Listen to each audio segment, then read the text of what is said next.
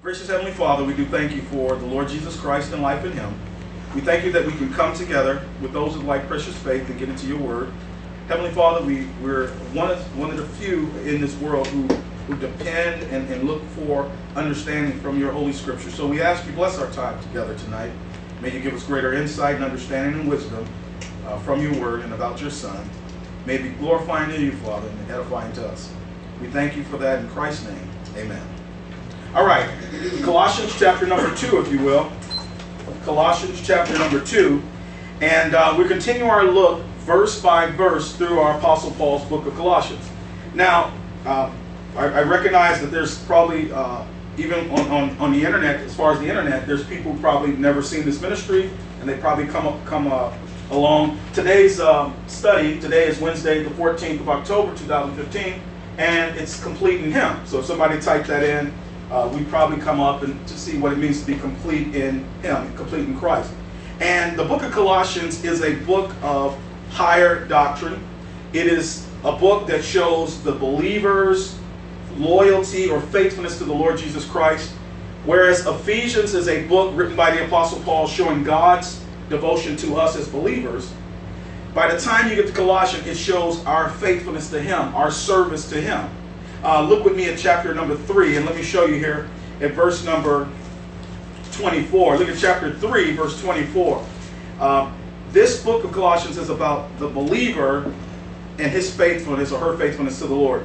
Verse 24 Knowing that of the Lord ye shall receive the reward of the inheritance, for ye serve the Lord Christ. The book of Colossians is about serving the Lord Christ.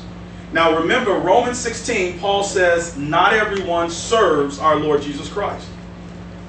You can be a believer today and yet not serve the Lord. If you do not serve the Lord, you will not receive the reward of the inheritance. That is given for faithfulness. And so the book of Colossians, Ephesians and Colossians, they go together. They're like husband and wife. Ephesians is like the church or the wife. Colossians is like Christ or the husband.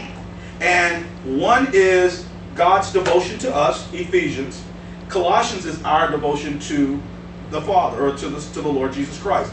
Look at chapter number 2 in verse 8. Go back to chapter 2 where we left off in verse 8. Here's a warning from the Apostle Paul. If you're a believer, Paul's going to warn us. A, a preacher warns and teaches. In verse 8, Paul says, Beware. And when you see that word beware, and I always ask the brothers who from Korea, um, what that if it's is the sense of that how do you say that word beware? You're giving a warning you're saying hey there's danger ahead right? Beware. Now what's the danger for us believers? Beware lest any man spoil you. Now that word spoil means to take what's rightfully yours. Remember when when someone conquered a land and they went into that land they would spoil the people of that land to conquer them. Or Satan will use men to take away from you what God has for you. Notice he says, Beware lest any man spoil you. Go down to verse 15. That's what the Lord Jesus Christ did. Look at verse 15. Speaking of Christ, and having spoiled principalities and powers, he made a show of them openly, triumphing over them in it. Now, when we get there, you're going to see it's the cross, the, the work of the cross, that took back from Satan what Satan had taken from God. When we talk about God's kingdom, Genesis 1 1. Genesis 1. And it says, In the beginning, God created the heaven and the earth. And the focus of your Bible from Genesis chapter 1, verse 2, all the way over to Acts chapter 9, where the Apostle Paul is saved. Saul, who's also called Paul, Acts 13. The entire focus of the prophetic scriptures, Genesis through Malachi, the Old Testament, Matthew, Mark, Luke, and John, the four Gospels, four Gospels, as well as Acts. Acts is the bridge, the transition, it's been about the earth. God's plan and purpose to redeem the earth, to reconcile the earth.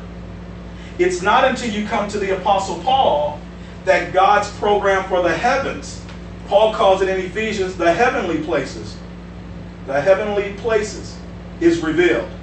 That's what Paul calls the mystery. God kept this part of his program secret, okay? And it was revealed in Paul's epistles, Romans through Philemon. So all the epistles of Paul speak about this mystery of Christ. Then, after the rapture, God is going to begin dealing with the earth again. So he's going to go back dealing with the earth, and he's going to bring an earthly kingdom by the Lord Jesus Christ. That's the gospel of the kingdom, the second coming. And that is Hebrews. He's going to deal with the Hebrew people again through Revelation. So those books look forward to that earthly kingdom that the Lord Jesus Christ will set up at his second coming. But what God is doing today is called the mystery in the heavenly places through the body of Christ. The body of Christ is only mentioned to Paul, the body of Christ. You can't find the body of Christ. I challenge anyone. You can't find the body of Christ in the Old Testament. You can't find the body of Christ, the church today, in Matthew, Mark, Luke, and John. Not there. The four Gospels. That's the little flock, the kingdom, the Messianic Jews. Even in the book of Acts 1 through 7, 1 through 9, actually, 7 is when God changed the program, you're still dealing with the church, that kingdom church, that Jewish church. It's not until Paul that God begins dealing with us Gentiles, those of us who are not of the Hebrew people, who are not of Israel, who are not of the Jews. And when you rightly divide the word of truth, you separate those things. This is what God's doing today in the dispensation of grace, okay? The only time God saves you without no, any works, by faith alone, faith plus nothing.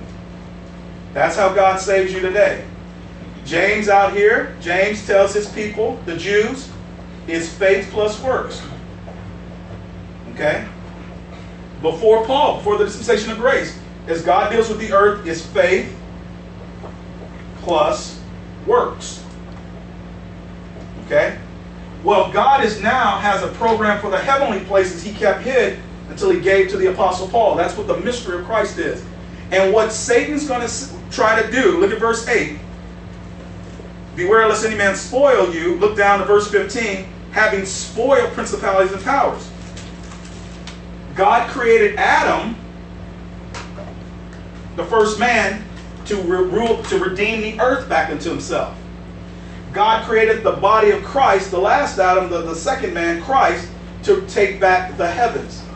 Satan has usurped God's authority both on earth. He's the God of this world, Satan. Satan is the God, little g, of this world, right? But he also usurped God's authority in the heavenly places. So look at that verse 15. When he says he spoiled principalities and powers, he made a show of them openly, triumphant over them in it. When the Lord Jesus Christ, through his death on the cross, let me put that in red for his blood, he accomplished something through, through the cross. He redeemed back to God, he reconciled both the earthly government, the government on the earth, and that'll be realized at his second coming, but also the heavenly government. And, and through the cross, the Lord Jesus Christ spoiled and took that back. That's what Paul is saying. Go back to verse 8.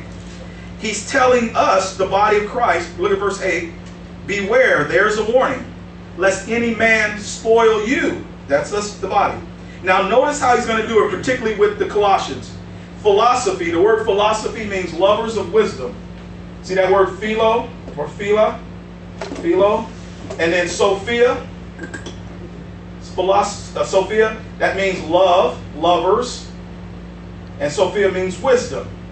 And what Satan is going to try to use on, on us is wisdom, the world's wisdom. Go with me back to 1 Corinthians chapter 2. Go back to 1 Corinthians 2. He's going to try to use the wisdom of this world to try to get you away from the truth of God's word. We have different cultures here. Uh, Ryan is glad you guys here. We're going to ask you about the predominant uh, religions uh, during the Q&A uh, over there in, in, in South Korea. And what all those religions have in common is some type of wisdom to, to, to make you higher, to make you a better self, right? To reach some type of nirvana or to ascend. Is that what the Greeks like? Exactly, but every religion is that. You're going, like the Tower of Babel, they're going to work their way to heaven or work their way to a, something, a higher being. Right. Whether it's reincarnation or whatever, or paradise, it's some type of wisdom that's going to bring you up. But God says, beware of that because there's no wisdom but of God. Notice in chapter number, 1 Corinthians chapter number 2, watch what Paul says. Isn't that what the New Age is today? New Ageism, but every uh, religion on this earth, all the Eastern religions, the Oriental religion, all these religions have something that you can do, you put it on you, to lift yourself up, to ascend to a higher plane. But it's just a lie from the God of this world, Satan. Because the only wisdom that comes to fruition in the end is the wisdom of God in the mystery, or, or the scripture, the Holy Scriptures in, in general. Notice here in verse 7, 1 Corinthians 2, verse 7. Start at verse 6. 1 Corinthians 2, 6. Howbeit we, that's Paul and his ministers, we speak wisdom. God wants us to have wisdom, doesn't he? What is wisdom? Wise. Wise domain. A wise domain, right? Just like a kingdom, a kingdom is a king's domain. Wisdom, Wise. by the way, what did God give Solomon, King Solomon in the Old Testament? Wisdom. What did Solomon say? Lord, I don't want riches, I don't want glory, I want wisdom to rule your people, right? And God wants the grace believer to have wisdom so that when we get there, we can rule up there with wisdom. That's what he says here. Verse 6, 1 Corinthians 2 6. Howbeit we speak wisdom among them that are perfect, or that's spiritually mature. Now watch what Paul says. Yet not the wisdom of this world. See, the Greeks seek after this wisdom. The world seeks after this wisdom, right? Right. Notice of this world, nor of the princes of this world that come to naught. Those those high principalities and powers that, that uh, uh, of the satanic um, forces and so forth. Uh, the Lord Jesus calls Satan and John the prince of this world is going to be cast out. He says that stuff comes to naught. It's nothing.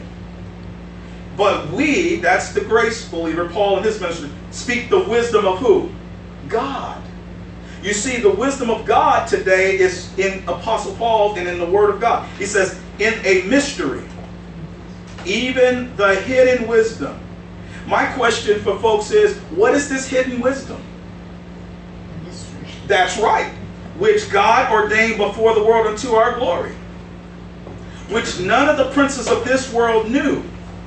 If you're getting wisdom from other other means, it's not God's wisdom because other other other princes of this world they didn't know this.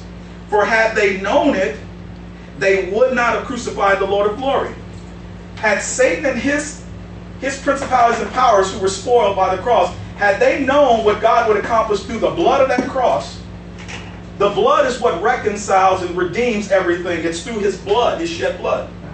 And without that shedding of blood, God couldn't reconcile all these things. No remission of sin. There you go. He couldn't get out of it. But through the blood of the Lord Jesus Christ, not only is he he's going to reconcile the earthly places, we now know from the Apostle Paul the heavenly places, and that's where we as members of the body come in.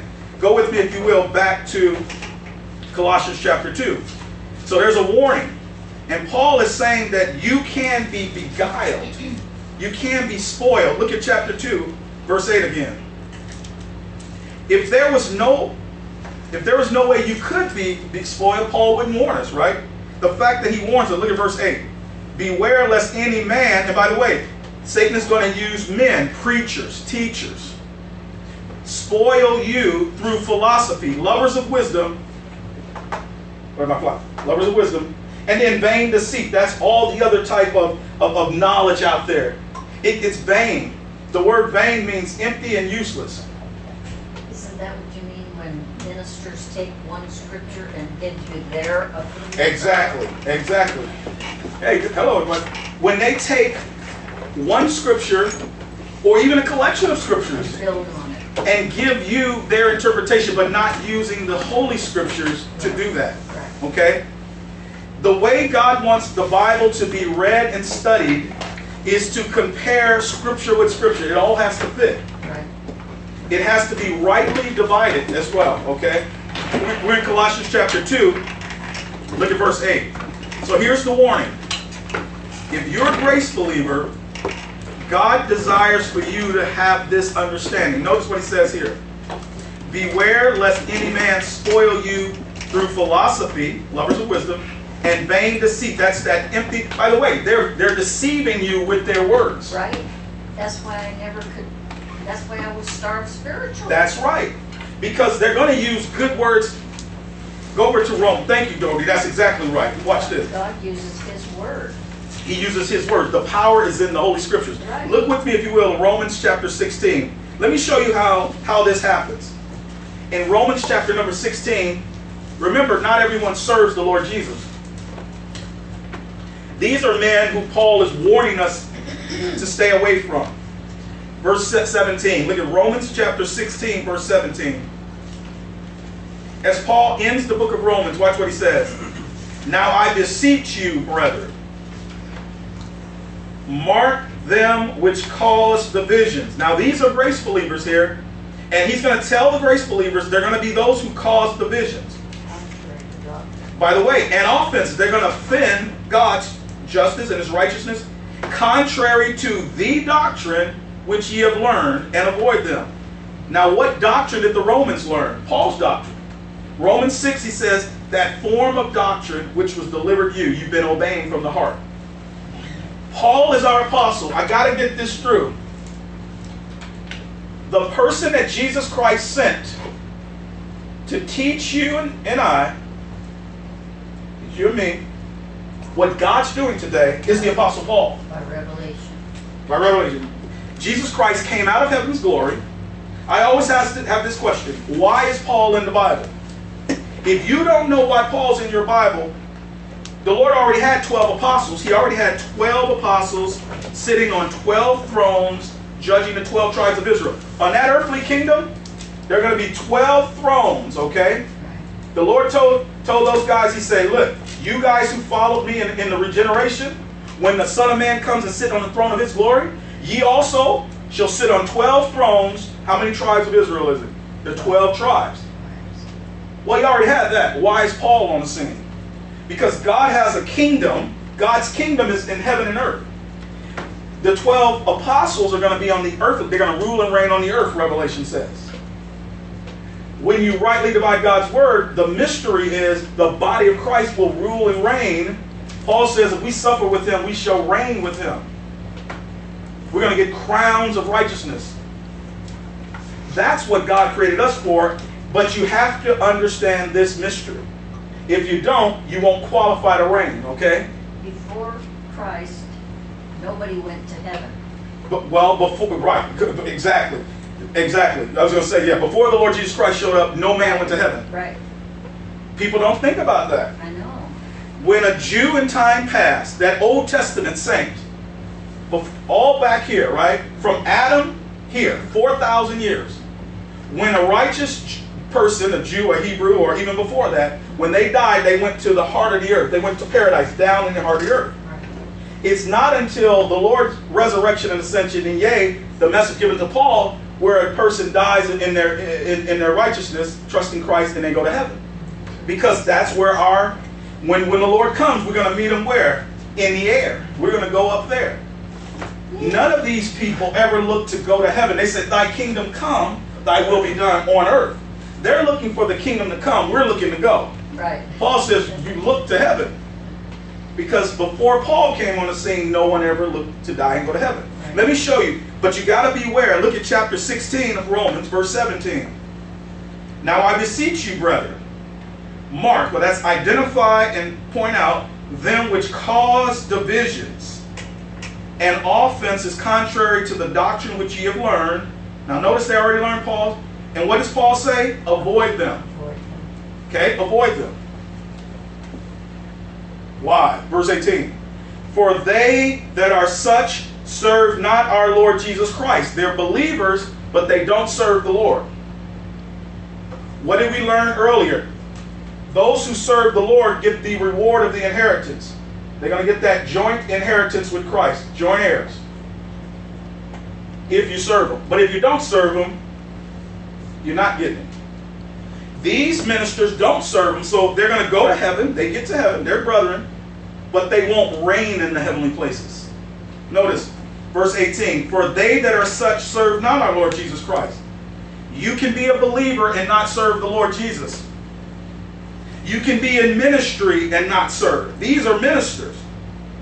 They're going to suffer loss at the judgment seat. Notice verse 18 For they that are such serve not our Lord Jesus Christ, but their own belly, Which is, their carnal, base Desires. desires. Over in Philippians 3, he says their God is their I'm belly. glad you explained that because I never could figure out the belly part. It's their own base carnal desires. Right. if you're not if, if you're in a pulpit teaching or any capacity and it's not the mystery you're not being honest in your heart about the scriptures your your goal is to either magnify yourself as a man you know getting glory from men or filthy lucre it's lucrative religion but that's then when you get to the judgment seat he's going to say you didn't serve me notice their belly is their God. And by, now notice how they do it good words and fair speeches. They sound good. And notice what they do they deceive the hearts of the simpletons. The Those simpletons. that don't know the word. Exactly. That's why you must spend time studying your Bible rightly divided so that they can't get you. If you don't if you know Bible but you don't know right how to rightly divide the scriptures, if you mix everything, if you take Matthew, Mark, Luke, and why do you think most churches spend time in the four gospels? Why? Because it was Jesus, Right? Because it was Jesus of Nazareth. his story. Right. In his in his earthly ministry. But remember, the Lord Jesus Christ didn't stop speaking once he went up. In Acts, when he went up, he came back down. In Acts 9, the Lord Jesus Christ, he left heaven's glory. He saved the Apostle Paul. Go over to Acts chapter number 9. Go, go, go over to Acts chapter number 9 what most people, when they focus on the four gospels only, or, or mostly, they're forgetting that it's progressive revelation in Scripture. Why are they stopping there? Go, keep going. Come on, keep going. The Lord Jesus Christ came back. Look at Acts chapter 9. When he came back, look with me if you will. Speaking of Saul, verse 3.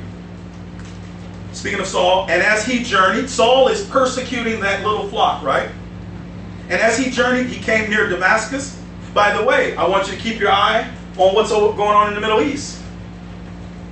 With that, with that Russian, uh, with the Russians uh, coming into covenant with the with the with the Syrians, the capital of Syria is Damascus. The king, Wow. the, the, the, the king, I call him the king because I'm looking at the Bible. But the president of, of, of, of Assyria, uh, Syria, he just turned 50 on September 11th. Interesting. September 11th turned 50. He was born in Damascus. The Syrian. hmm The, the, the president of Syria right now. He was born in Damascus. Oh, Damascus, Syria. That's going to be the territory where the Antichrist comes after the rapture. Just kind of think about those things. that's interesting. Interesting.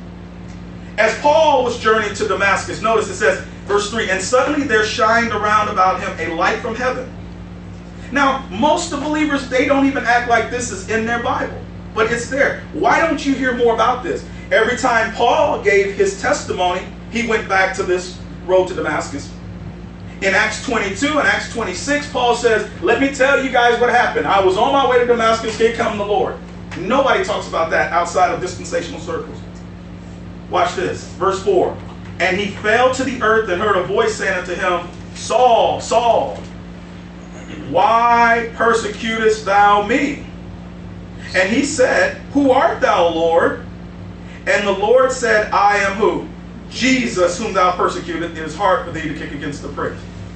The Apostle Paul knew the Old Testament. He knew that there was a Messiah and he would come. but he kept fighting against this Jesus, their Messiah. And if you don't recognize that the Lord Jesus Christ came down, he left heaven's glory, he saved Saul, Paul on the road to Damascus, you won't understand your Bible. It won't make sense. Now, now notice verse number six. And he, trembling and astonished, said, Lord, that's what a Jew had to say about the Lord Jesus. If they confessed his, him as Lord, and that's what Paul did. What wilt thou have me to do? See, he's ready to serve him. I wish more saints were like that, quite frankly. In, in 19 years as a grace believer, I wish it was more saints. I'm talking about even dispensation says.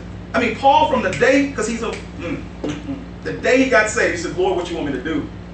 He says, I'm going to tell you, arise and go in the city, and it shall be told thee what thou must do. I've learned in my time, it's just sad because, and Chris and I, Chris could testify, most people who, who gain from the ministry hardly give back. It's just a sad fact. But Paul is our pattern. If you're saved today, you should be doing what Paul says. Lord, what would you have me to do? Serve the Lord Jesus in whatever capacity, different ways, but make sure you're serving the Lord in the grace of God. Notice in chapter 9, verse 15. But the Lord said unto him, Go thy way. For he, by the way, let me say this. What if you're new to the grace message? Paul says, As much as lieth in me, I'm ready to do what I got to do, right? Romans, he said, As much as God has given me now, I'm ready to use that little bit to serve him.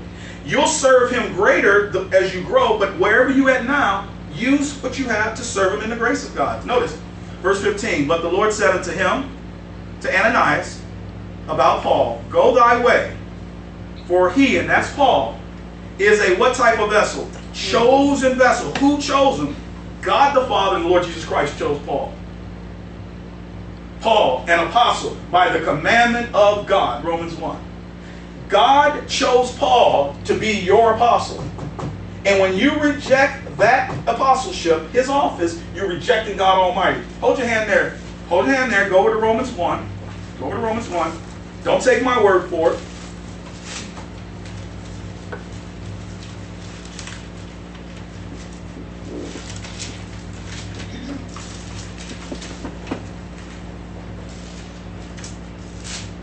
Verse 1 Paul, a servant of Jesus Christ, called to be an apostle separated unto the gospel of God.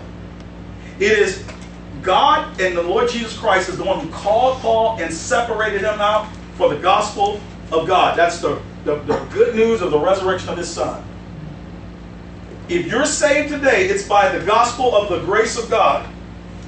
You didn't get saved by the gospel of the kingdom, preached back here. The gospel of the kingdom was preached before the cross. You got, you got saved by the gospel of the grace of God, how it's the blood of Christ alone, the blood by, by grace through faith plus nothing. Faith plus no works. And by the way, that's Paul's gospel. Go back with me, if you will. Go to Romans chapter number 16. Go to Romans 16. I'm going to show you about that commandment of the everlasting God. But Paul's gospel is, is involved. Look at Romans 16, verse 25. You won't be established in God's truth. You won't be stable in your faith unless you do it the way God says. It starts with Paul's gospel. Look at, look at Romans 16 25. Now to him, this is God the Father, that is of power to establish you, to stabilize you, make you strong in your faith. How? According to whose gospel? My gospel. No other man in Scripture uses that term, my gospel. Which is preaching of Jesus Well, Christ. the, yeah, the gospel of grace of God. Let me show you something. According to the revelation of the mystery. That's right. Then we're going to see that. Paul says, my gospel. He personalizes it. Two, three times, two times in Romans. Romans 2, he says, according to my gospel. In 2 Timothy 2, he says, my gospel. Three times Paul says, my gospel. No other man says, my gospel. By the way, Peter doesn't even say, my gospel. Peter's an apostle. Peter's the head apostle to Israel. James never says, my gospel. Paul says, my gospel. But look what else. Verse 6, 25. And the preaching, the warning, the teaching. That's what we're doing now. This is in your sanctification, the warning and teaching of Jesus Christ. So we're preaching the Lord Jesus, but how? according to or in line with the what? The The revelation of the mystery. which was kept secret since the world began. So it couldn't have been in the Gospels. Nobody else knew it. It wasn't in the Gospels. But now, in the dispensation of grace to the grace apostle Paul, is made what? Manifest. But wait, there's more. What about the rest of Scripture? Look at it. Verse 26. And by the scriptures of the prophets. That's where the Old Testament comes in. The Old Testament, by the way, Matthew, Mark, Luke, and John are Old Testament ground. I know people put it in the New Testament, but he's made of a woman made under the law. The Old Testament, I mean, you got to at least get to the cross, to the end of the Gospels, right? This is the New Testament in my blood. But all of this is Old Testament ground. But God wants us to know that information. It, it helps our edification. Let's look at it. He says, verse number 26, But now is made manifest, speaking of the mystery given to Paul, and by the scriptures of the prophets, according, now here's what I want you to see. Whose commandment? According to the commandment of the everlasting God, made known not just to one nation, Israel, but how many nations? All nations. Korea, United States, every, everywhere, all nations have to listen to the Apostle Paul for the obedience of faith. Do you want to show your faith to God? You have to learn how to do it based upon what the Apostle Paul says. Go back to Colossians. And Satan's going to try to keep you from doing that. Go back to Colossians chapter 2. That's why Paul says, Beware. Colossians is a book of service. Colossians is a book of service. It's not like Ephesians, just like, mm, mm, mm, I love you, I love you. God the Father looks down all my heirs, mm, I love all my saints, oh, I love you. Please serve me.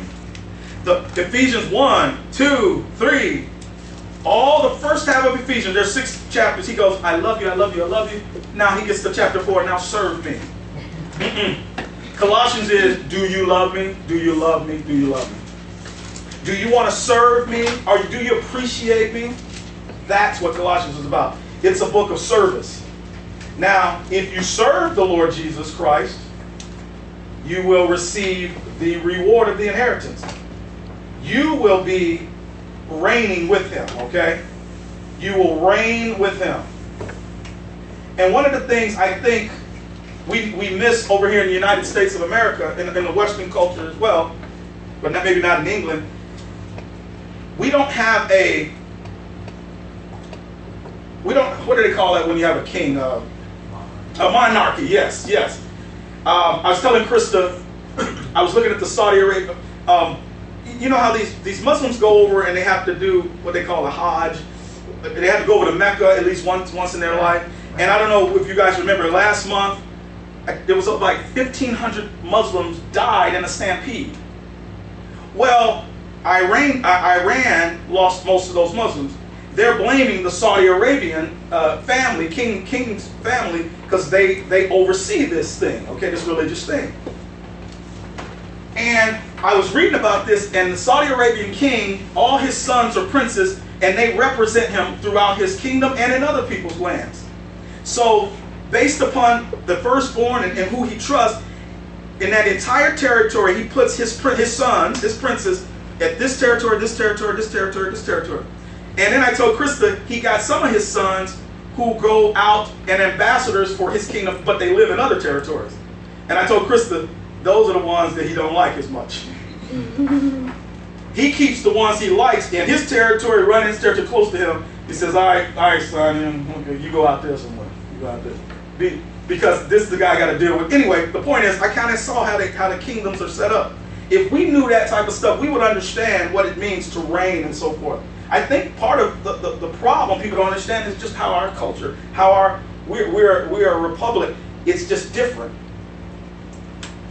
Everybody got a say in everything. You can vote your no. You don't. You can't do that in a, in a in a kingdom. You do what the king says. You do what the ruler say. Okay.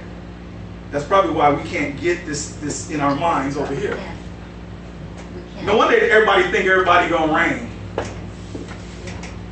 Because he over here, I don't like that, so I'm gonna put, no, shut up. I'm a king. Power king's word, be quiet. Go, go banish, you're banished. Go somewhere. For real. I think if we understood, and it's so funny, right before we moved here, about four and a half years ago, I was just starting to, to unpack those things in the Old Testament, but I had to build up this ministry, so I had to put that on hold. Boom. But I, I could see, I wanted to, I may still do that. We'll still do that. But that's okay. You can get it from the scriptures. Go with me back to Colossians. So beware, verse 8, lest any man spoil you. That means to take what's rightfully yours. God wants to give you this joint inheritance. He wants you to reign with him. But don't let Satan, through men, take your crown away. Don't let him take it. And he's going to use philosophy, vain deceits, good words, and fair speeches. Notice in verse 8, after the tradition of men, the number one thing that's going to mess you up is tradition. Which is other people's doctrines, right? It's my family has done it this way for this long. My church has done it this way for this long. The Lord Jesus Christ told those people, He says, his, his, his disciples were eating one day without washing their hands. The Pharisees look and says, Why do your disciples eat without washing their hands? The Lord says, Why do you guys break the commandment of God and not honor your parents? He says, You make the word of God of none effect through your tradition. And tradition, if it's a religious tradition, most people don't come to this truth because their mom, their dad, their uncle, their grandpa, their, grandpa didn't teach this, didn't know this, mom and dad don't know this. Well, that's between them and God. You, you're going to be held accountable. When you get to judgment seat, you're not going to say, Well, Lord, my, my parents didn't. Well, that's what, He'll judge them. You're held accountable. Traditions of men. Now, not all tradition is bad, okay? Paul says that we can have, let me see, let me see here. See how far it is over here. He talks about tradition. He, Paul talks about tradition. Ryan, if you can look that one up for me. But Paul talks about tradition. If the tradition comes from the Apostle Paul, it's good. But if it's just from men, by the way, the tradition that Paul puts down, that comes from the Lord. That comes from up here. It's revelation. It's from Revelation from the Lord Jesus. But if your religious tradition, your family tradition, anything stands in your way, that's Satan is saying, yeah, let that tradition be above the word. And you'll be you'll lose, you, you'll be spoiled out of your crown. Did you get that one yet, Ryan? Let me know when you get it. Verse Talking 8. about the one that talks about traditions of men. Well, that's that's here. Uh, there's another one where Paul talks about keep the tradition as we get, but that's all right. If you get, Oh, oh, uh, the traditions of my fathers in, in Galatians. You know what I'm talking No, but, but that's a good one there. That's that's Paul saying those religious traditions of Judaism, they're gonna keep me from the Lord Jesus. I gotta keep those, let those go. Yeah. Is it- today, it would be Mormons or all of those. Look, not only any of those religious, Mormon, Jehovah's Witness, even Christendom, Christian denominations. Bapt, okay, your denomination teaches that water baptism is a requirement. Maybe they don't think it's a requirement for salvation, but they say, well, it's the way that you follow Jesus. And That's a tradition. That's just tradition. Paul says there's one baptism, Ephesians 4 5, and it's not water. It's by one spirit are we all baptized into one body. It's a spiritual one. You talking about Second Thessalonians two? Yes. 15? Second, look at Second Thessalonians. Thank you, Ryan. Second Thessalonians 2. verse fifteen. Thank you, bro. That's the one I was thinking of. Sometimes I don't have it in my notes, but it, it's, it's right there. Look at Second Thessalonians 2.15. Not every tradition is, is wrong. Now, he's not saying, look, if you have certain family traditions, you know, we understand, you know, customs and so forth.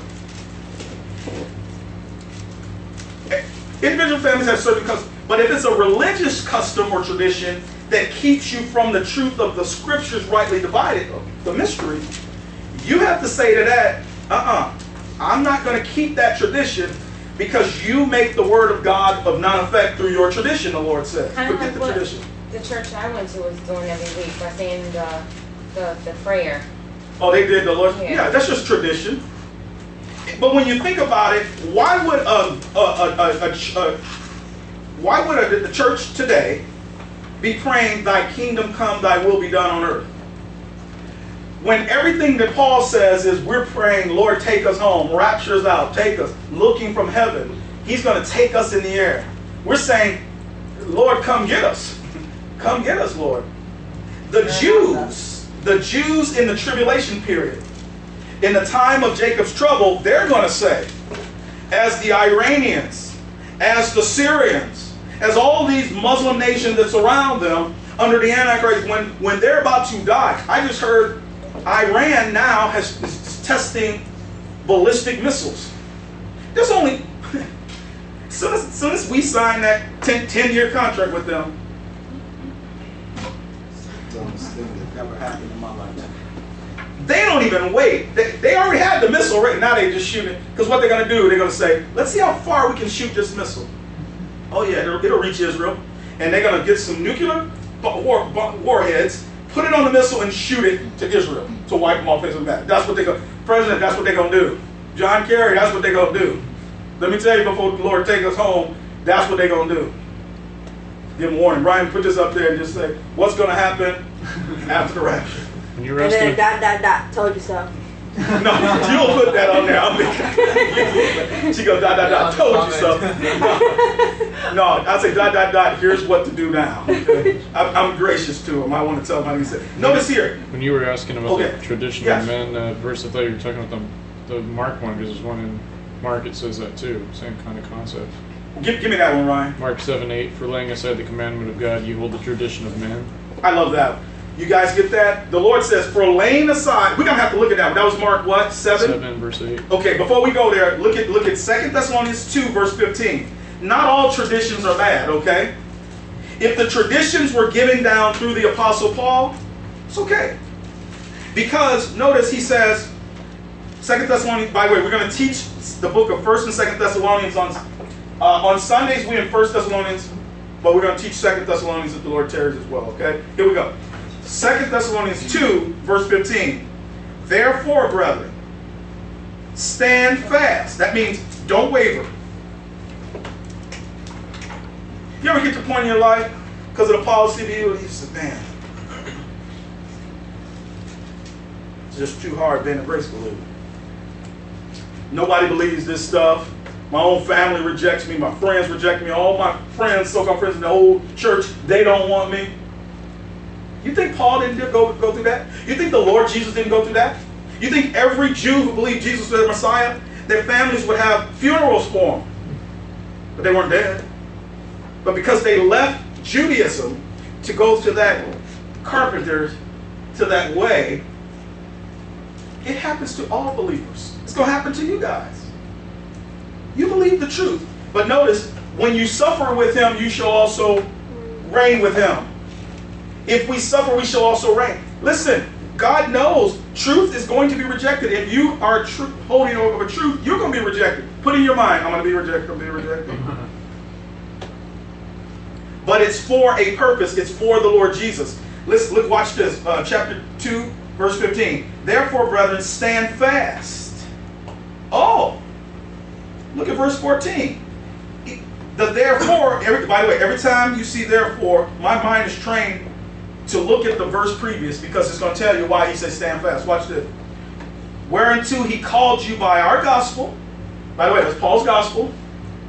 And what's Paul's gospel? What's the end? To the obtaining of the what? Glory of our Lord Jesus Christ. Paul's gospel, the aim, the aim is that you receive that crown of glory. But you can only do it if you suffer with him. And that, that major suffer is this, guys rejection. People are not going to believe this stuff that you're telling them. And because you believe it, they're going to not want to be around you. I'm telling you, you just get ready for it. 19 years as a grace believer, that's been the experience. Very few people are going to ride with you. Suffer for glory. And the main suffering will be rejection by your friends, your family. That's the way it is. But it's for, notice verse 14, whereunto he called you by our gospel to the obtaining of the what? Glory of our Lord Jesus Christ. You're going to reign with him. But because of that, verse 15, therefore, brethren, stand fast and hold. You know, that word hold has to do with keep them guard them, protect them, the traditions which ye have been taught, whether by word or our epistle. As you study out the Apostle Paul, you'll see the traditions that God wants. It's not the traditions of men, it's the traditions of God. Brian, what's that passage in Mark? I like that one. Mark chapter 7. Uh, Mark 7. Thank you, dear. Go to Mark 7. verse five, I think Mark 7, 8. it was. Or eight. Listen how the Lord says to his people, to, to, the, to the Jews of his day. You know, people, when they talk about the Lord Jesus, they just talk like he's this meek guy. He was. Chris and I, we laugh, we, we, we study personalities. Being in ministry, dealing with people, we study personalities. And as introverts ourselves, we study people. We can see introverts, extroverts, social people, talkative people, quieter people. We look at all that. Well, the Lord Jesus Christ, He had all the personalities in one. However you dealt with Him, He dealt with you. So if you were humble towards Him, He was kind and meek. But if you come here you demand of Him, it'll say they demand of Him, you just stick it to Him, man. Let me show you what He did here. Mark 7, verse 5. Let's just get the, this, no, this is the one I was talking about, right? Start at verse 1. Let's just get the context. Look, Mark 7, verse 1. Then came together unto him the Pharisees and certain of the scribes which came from Jerusalem. So these are the unbelieving religious leaders of Israel. Verse 2, Mark 7, 2. And when they saw some of his disciples eat bread with defiled, that is to say, with unwashed hands, they found fault. Now look at these religious dudes. They're watching them eat, and because they didn't wash their hands, they're indignant about it. Watch this. Verse 3, here's tell you why. For the Pharisees and all the Jews, except they wash their hands off, eat not, holding the tradition of the who? So they keep they keep these traditions of washing, washing, washing. Well, the Lord Jesus Christ, he wasn't having none of it because he knows what makes a man defiled is not what's from the outside, but what's inside. See? He said, You don't have to constantly wash your hands. That's just religion. God's looking for you to worship Him in your heart. Okay, watch this. Verse 4 And when they came, excuse me, and when they come from the market, the Pharisees, except they wash, they eat not. And many other things there be which they have received to hold. See, they learned this from their parents and from the elders of Israel, and they just they just go through the motions, go through the motions.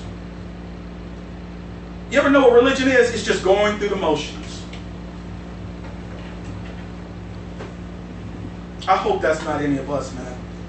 I hope you hear, not because you just go up, it's Sunday, it's Wednesday, this gotta go. I hope you come to hear the word of the Lord. These people, most people go to church on Sunday, that's what we do. We go to church. Drag. When somebody find out I'm a preacher, and I don't even tell them, because I don't want to talk to people outside of here. Somebody else will tell them, oh, I heard you're a preacher. The next thing they say is, oh, I need to be going to church again. Tradition. Kids say it. It's the tradition, right? It's not about going to church. It's becoming a member of the true church, the body of Christ. They need to get saved. And then, yes, come and learn and grow. Let me show you this. Verse 4 And when they come from the market, except they wash, they eat not, and many other things there be, which they have received to hold. As the washing of cups and pots, brazen vessels. I wish they come to my house, man. I hate washing dishes. That's why I let Krista do it. But I did watch this when I was young, my grandmother's house. That was, oh, I hated that. These Pharisees will hook you up, boy. The verse 5. Then the Pharisees and scribes asked him, Now look at these guys come to the Lord Jesus. Why walk not thy disciples according to the tradition of elders, but eat bread when I'm washing hands? It'll be like somebody coming up to you guys, why don't your church water baptize? Everybody else does. Now let me show you how the Lord handled that. Verse 6, and he, that's the Lord Jesus, said unto them, th- I can see myself saying that. I said, you. Well say Isaiah the prophet. Oh man, well hath Isaiah prophesied of you hypocrites. Oh, he just give it to him. As it is written, as it is written. A guy emailed me. He said, Brother Ron, why doesn't God talk to us today like he did back in the Bible days? I said, because God is a God of a book. Back here, he wasn't finished writing his book. So he re- revealed to the prophets his word and they would write it down. When he gave the Apostle Paul these 13 books, when he wrote 2 Timothy, Paul put it together. Last of all, he was seen to me. All scripture today is given by inspiration of God. God is a God of a book. And I told the guy, if, if, if God was just appearing to people, they would have to write it down in the. You just keep, you know, but there's a book. How Because to reach everybody. Exactly. And so he wants he wants one book that everybody can come and open so that Daniel, David, everybody, they can't just say, God told me this.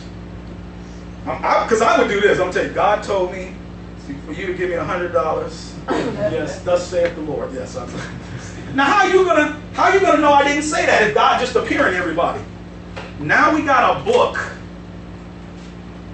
and I can't come and say, well, God says you got to tithe. Now God told Israel to tithe. It wasn't money. It was never money. But remember, people use the tithe, they don't rightly divide. Today, God says grace given is you give to support the ministry so that the grace message can get, we can have a place to, to meet and get it out there. That's why we have a, you don't teach a tithe because that was not for the body of Christ, it's for Israel. And it wasn't money anyway. But you'll never hear religious guys tell you that. You'll never hear them tell you that. Never. I had a guy ask me, he said, he's, he's, a, he's a Baptist minister. His father was the senior Baptist preacher. And he was, he was listening to our ministry. You remember this, I think. And he said, man, I, I got to the point, I had to ask my father, Father, if, if we're talking about God's grace today, Is this tradition? he had to tell his father this. Or ask his father. This was hard. This the relationship between fathers and sons, especially in ministry. This guy says, I had to ask my father, Brother Ron, Father, if we're teaching people that God is, is dealing with us under grace, why are we preaching a tithe to our people? That's a hard conversation to have with your father, the preacher. What did his father say? Well, son, you know, that's just the, the tradition. I guess. I don't know. Tradition. He said, no, son, that's how we keep the coffers full, bro. Shut up. Hey, man, I've been, I know people been back there counting the money. And they, I had a brother, look, I've been in a long, one brother told me they be back there counting, woo, this is a good haul today, man. Yeah. Knowing that they're lying to the people. They're lying to them about the tithe. Hmm. That's what the Lord, look here, verse 5, verse 6. Well hath Isaiah prophesied of you hypocrites, as it is written. And when I told that brother, I said, look, God wants us to depend on his written word. When Satan came to the Lord, what did the Lord say? It is what? Written. God is a God of a book, But rightly divided. rightly divided now, because we have the body of Christ and Israel. Okay, here we go. Well hath Isaiah prophesied of you hypocrites, as is written. This people honoreth me with their lips. But what's the problem? Their heart is far from me. When you're just going through the religious motion, you just say, ah, we got to do this. This is how we do it. Your heart is far from God. God doesn't want your tradition. He doesn't want you to go through the motion. He wants your heart. He wants your heart. Verse 7. Howbeit in vain, remember that vain deceit, Dodie? Yep. Do they worship me? And I put some quotes on there. Oh, this is it. Teaching for doctrines the commandments of who? Man. Did y'all get that? You know what religion does? They take their tradition and teach that as the word and throw aside the word of God. Get that? That's why when you guys, we look at the verses, we look at the scripture. Look, look at this, verse 7. Howbeit in vain they do worship me. That, those are the guys that when they get before the Lord, Lord, didn't we prophesy in thy name? Didn't we cast out devils in thy name? He's going to say, Depart from me, ye that work iniquity. I never knew thee. Because their heart wasn't with the Lord. They taught for doctrines the commandments of men. Verse 8. Oh. For laying aside the commandment of God, ye hold the tradition of man as the washing of pots and cups and many other things. By the way, interesting they're dealing with washings, waters. People will look what Paul says, Christ sent me not to baptize. And they'll lay that aside and says, well, we got to water baptize. People will see that there's only one baptism in Ephesians 4 5. I had, I had people, I said, now there's one baptism. Paul tells us what that is. One spirit are we all baptized. Where is water? Where does water come in? They said, well, I don't know. That's two then, and you done broke the commandment of God. You broke the commandment of God. God said one baptism. That's what he's saying. They lay aside, verse 8, the commandment of God. You hold the tradition of men. And that's what Paul says. Don't let them beguile you. We got about eight minutes. Go back to um, Colossians 2. So that's the warning. Colossians 2. I thought I would get down to verse 10. That ain't happening tonight. We're going to do part two next week. All right. Verse, verse 8. Beware lest any man spoil you through philosophy and vain deceit after the tradition of men. Okay, we just went over the traditions. Let those traditions go, unless it's from Paul. Here's another way. After the rudiments of the world. What is that? A rudiments are the basic principles of this world. Go down to verse 20. Wherefore, if you be dead with Christ from the rudiments of the world, why, as though living in the world, are you subject to ordinances? Now, what is the rudiments of the world? That's this. So the first thing was the religious stuff, okay? Now Paul's going to deal with the other extreme. It's the it's the it's the peer pressure from the world. The world, the lost world says, "Hey, you everybody does this, you need to do this." I'll give you a one from our this is our personal thing for my wife and I, homeschooling. We don't ever tell anybody what they should do with their child. We do what we want. There's not a day goes by when I'm with my seniors, many of them ex-teachers. These are 90-something-year-old ladies. Soon as soon as fall here, they say, "Oh, so is your little girl in school?" I go, "Yes, she is. She is." and as long as they don't ask where she go, I'm fine. but someone say, hey, "What school she go to?" I said, "She's homeschooled." And they go, "Oh." Oh, what about socialization? I said, have you ain't ever seen my daughter? She's the most social little girl. She doesn't like that. No. No, she's all, but, but here's the point.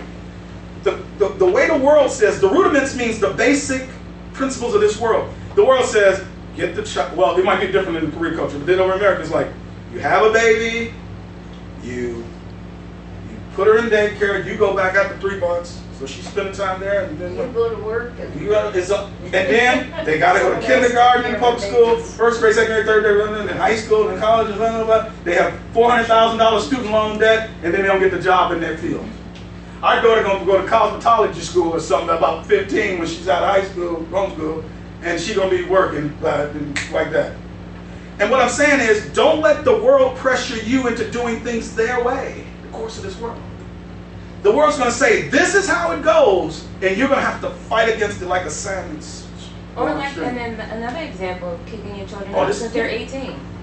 Oh, and, and, and, and we, this is a great, thank you, Rondell. And we could do this all day. But the point is, that's a good one. What Rondell said, Dodie, was that people, once the child turn 18 because they're legal, no child is ready to be on their own at 18. None. They're babies. Other cultures laugh. The Middle Eastern cultures done it. We saw that.